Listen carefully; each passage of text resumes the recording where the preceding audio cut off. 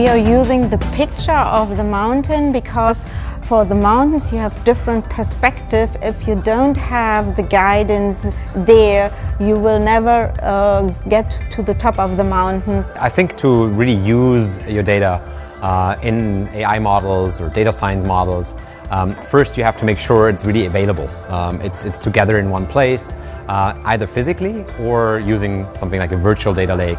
We have data everywhere, but we have it in silos and we are not looking uh, from a top of it. We are looking really in little tiny pieces and that makes it so difficult to really because you need more data, you need a lot of data and that's the basic for the use cases and for the products. The challenges uh, during the implementation phase are um, are usually that you have to get really all the people who are, I would say, the, the project owners of the different data sources. You have to get them on board so that you can build that centralized repository of what data do we have where and how is it related. We are looking from the top, so we're seeing all the paths. We can give guidance which is the optimal path and give guidance and help to the business units to really reach uh, the data mountain and the business impact there. I think it's very important to have a role like chief data uh, officer in the enterprise um, because I think you need to have that central person and team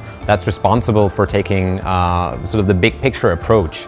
Go for the use cases, go for the commercial, but don't forget the enabling because only if you have the data management, the enabling right, then you're able to scale.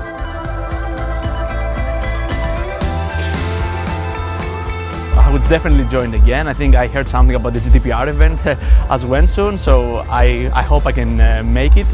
Uh, yeah, I flew all the way from Greece here just to see this and it was really, you know, I took a lot of uh, things, you know, I took a lot of knowledge. I would definitely like to join the, the next event because I mean, especially if it's in such a nice atmosphere, uh, to meet people again from different uh, uh companies and exchange uh, uh, know-how and.